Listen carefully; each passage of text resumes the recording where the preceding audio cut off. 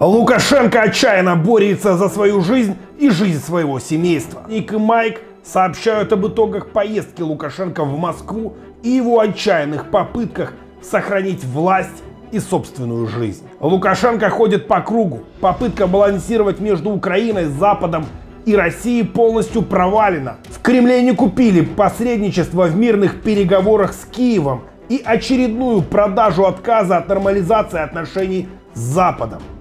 И не купили не потому, что не хотели, а потому что товар уж слишком долго залежался и попахивает душком. Кольцо вокруг Лукашенко сжимается. Недавнее интервью Собчак, которое крайне сильно атаковало лукашенковский режим, Постоянные публикации в средствах массовой информации о состоянии здоровья Лукашенко говорят о том, что Кремль сливает диктатора. И начнем сначала. Именно кремлевские СМИ написали о том, что Лукашенко единственный, кто не поднимался по лестнице, а поехал на лифте. И именно Лукашенко поймали на этом подъеме и начали требовать интервью, где он, задыхаясь, пытался отвечать на вопросы, на которые не понимал, что отвечает. Но я вам должен сказать, что в Беларуси, если кто-то, как я говорю, извините, и вякает, то это люди, которые абсолютно не принимают никаких решений. Это просто вяканье обычное. И никто из серьезных людей, даже на уровне президента Зеленского, не думает о том, что надо зайти в Беларусь. Это головная боль очень серьезная, которая приведет к краху вообще в военном отношении. Именно кремлевские средства массовой информации начали писать о том, что Лукашенко находится в крайне тяжелом состоянии. И это не впервой. Не первый диктатор, который, выезжая из Кремля, едет не в больницу и не в резиденцию, а в другую страну. Казахстан тому прекрасный пример. Ну а что происходит дальше? Приезжает Собчак в Минск, берет Протасевича и поливает лукашенковскую пропаганду всеми мыслимыми и немыслимыми словами. Вот, например, отрезок. Ваша пропаганда плоха не тем, что она пропаганда, а тем, что она рассчитана ну, либо на каких-то совсем дураков, либо на очень пожилых людей. Далее она начала говорить о том, что Протасевич чуть ли не опущенный или не униженный. И Собчак очень сильно жалко Протасевича. Я просто посмотрела огромное количество интервью с тобой перед тем, как и это вот очень неприятно. Я поймала себя на мысли, что мне прям неприятно это смотреть. Я стала думать, почему?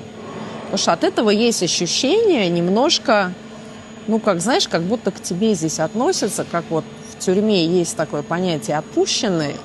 Во-первых, очень сочувствую в этом смысле тебе в этот момент. Но выглядит это вот плохо. Потом немного она унизила Озаренка. Ну что, главный момент интервью, Роман, ради которого я все и придумала, это знакомство с Григорием. Здравствуйте. Здравствуйте Григорий. Очень приятно. Здравствуйте. Здравствуйте. Здравствуйте. Как вам Минск? Минск отлично. Узнаете ну, вообще меня? Конечно. Я кто, же вас, кто же вас не знает, Ксения Анатольевна? Я та самая падла. Та самая, как вы говорили обо мне сейчас, вот я адская лошадь. И, в общем, примерно интервью мало было похоже на интервью, но шло примерно в подобном ракурсе. И это все звонки с Кремля. Даже Игорь Тур четко в своем посту написал о том, что подобный заезд в Беларусь это не журналиста Собчак Ксении, а ФСБ Российской Федерации. Кольцо вокруг Лукашенко сжимается, а его здоровье заканчивается, как и век его правления. Потому что есть ощущение, э, Григорий, только без обид, что вы работаете на такую аудиторию, ну, немножко либо припиженную, либо, ну, скажем так, э, пожилую. Президент Украины заявил, что Северная Корея фактически включилась в войну на стороне России. Уже приходила информация о том, что на СВО собираются идти военные Северной Кореи. Если уже Зеленский говорит о том, что это произошло, то, как вы понимаете, ситуация очень сильно обостряется. Она, в общем-то, и около Северной Кореи обостряется, и вокруг Китая, и вот сейчас еще и уже в Украине. Саудовский принц отказался ехать на саммит БРИКС и пригрозил обвалить нефть до 50 долларов. По сути, они и хвалились тем, что этот самый принц будет на этом мероприятии. Не будет. В общем, стратегический партнер по нефти Российской Федерации что-то заподозрил. Байден заявил, что США готовы к переговорам с Россией для уменьшения ядерной угрозы. Соединенные Штаты готовы провести переговоры с Россией, а также с Китаем и Северной Кореей, чтобы уменьшить ядерную угрозу.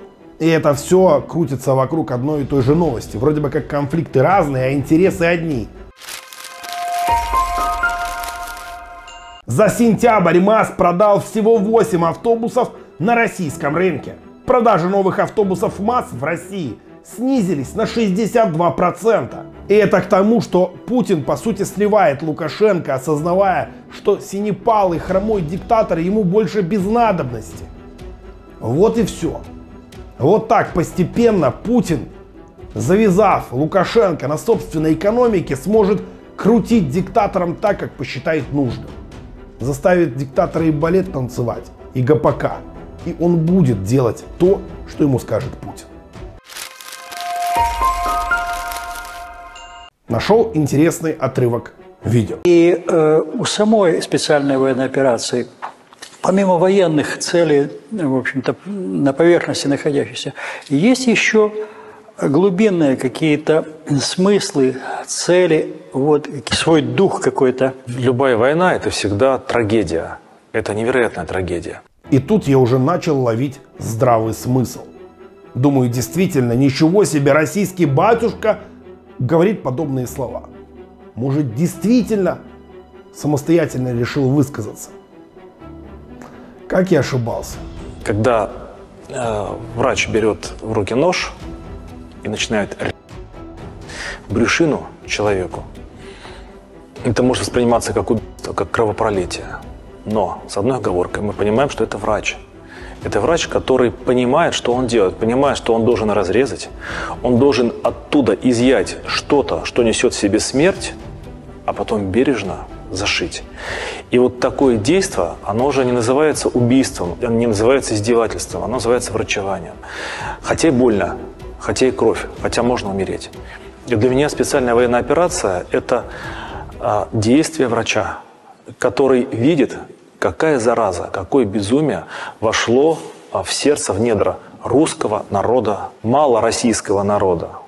Куда устремился этот народ? Если мыслить подобными метафорами, то можно любую дичь объяснить и сказать, что это нормальность. Только не сейчас, а потом. Женщины из Башкирии записывают видео, рассказывая собственные истории о том, как их деревни остались без мужиков. У нас в башкирских селах и деревнях не осталось уже мужиков. Троюродные братья, бывшие мужья, сыновья и сватья ушли на СВО. Кого-то уже нет. Мужиков реальных уже не осталось. Кто-то сидит, кто-то на СВО, а кто-то просто умер. В Беларуси вне квартиры теперь нельзя хранить картошку. И это обусловлено жилищным кодексом Республики Беларусь. Теперь, в общем-то, будьте внимательны при покупке огромного количества или большого количества картошки. А то мало ли штраф получите, еще и под конфискацию попадете.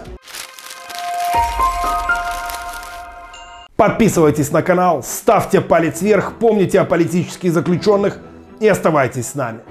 Живе Беларусь! Слава Украине! Пока! Друзья, по поводу интервью Собчак и Протасевича можно многое говорить. Человек, очевидно, находится в заложниках, и он об этом, в принципе, сам на интервью сказал. Да, он действительно, уезжая в Дубай, думал свалить, но не смог. Когда он рассказывал о своих зарплатах, он у кого-то за спиной у Собчак спрашивал, может ли он назвать сумму, за которую работает. Слушай, а какая ЗП у тебя, как у сварщик?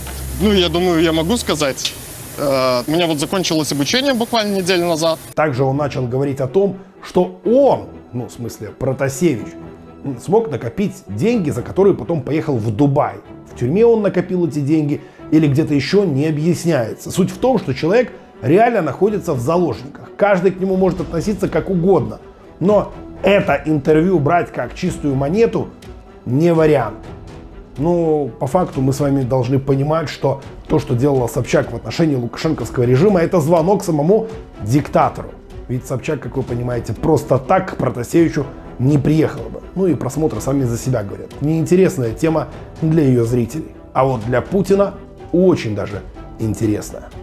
Пока.